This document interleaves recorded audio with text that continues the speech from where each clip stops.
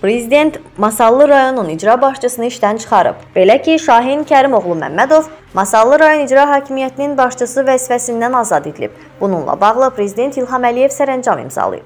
Dövlət başçısının digər sərəncamı ilə Araz Süleymanoğlu Əhmədov Masallı rayon icra hakimiyyətinin başçısı vəzifəsinə təyin edilib.